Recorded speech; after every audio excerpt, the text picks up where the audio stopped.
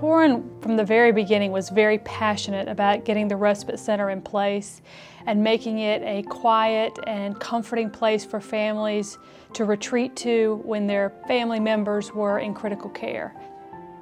This was near and dear to her heart, and because of her and the energy that she put behind this project, we have the Respite Center today. This really grew out of the experience of Coren with her child here, where she experienced uh, that inability to go someplace and get some rest and having to deal with being on the ragged edge all the time. So when we opened up this unit, even in the first few days, we found a real excitement of the physicians and the nurses and the caregivers that could help people find someplace to go and, and yet still be here, be part of the team, but be better prepared. When patients are very sick and family members are with them, they don't want to leave, and we don't want them to leave. Their family members play a key role in their healing. And again, family members don't want to leave their loved ones. Having an environment where family members and friends are welcome where they have a space for themselves, where they can participate in the care delivery and be a part of the healing process is important. Coren was very adamant from the beginning that she was going to make it happen and she truly did. She came through for us.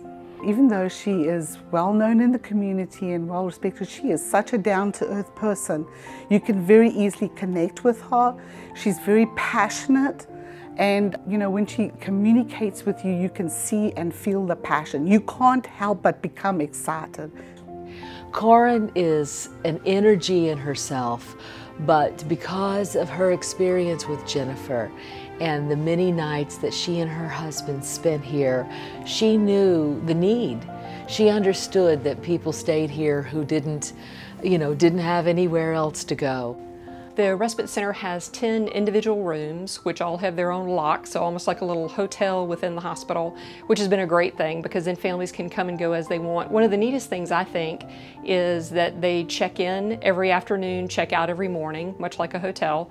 But what happens during the night is the thing I think that makes the most difference for families. If the family member wakes up at 2 in the morning and is wondering how the patient is doing, they can walk right up the hill to the ICU and check on their loved one because the visiting allows that.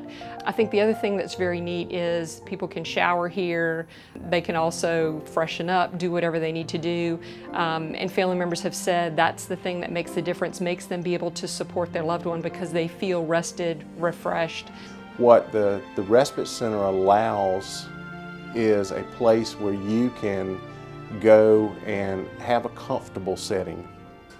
In the ICU, they don't want to leave their side. And this place here gives you an opportunity to just get away from it, because everybody needs that. I find it so impressive that she can take what, you know, still touches me. I knew her daughter. I helped take care of her when she was here. And that she could take that incredible loss and just turn it around to give to the community I think it's a beautiful thing. I am so honored to receive this award and so completely humbled. There are too many people to name to properly thank them all, but of course the first person I have to thank is my husband, Rusty, who stood behind me the whole way that this vision was becoming a reality. Andy Blaylock, Jimmy Kicklighter, Maggie Gill, of course, and an enormous pool of very, very generous donors. There's also not enough time today to honor all of the members of the administration of the hospital who stepped in and helped whenever help was needed.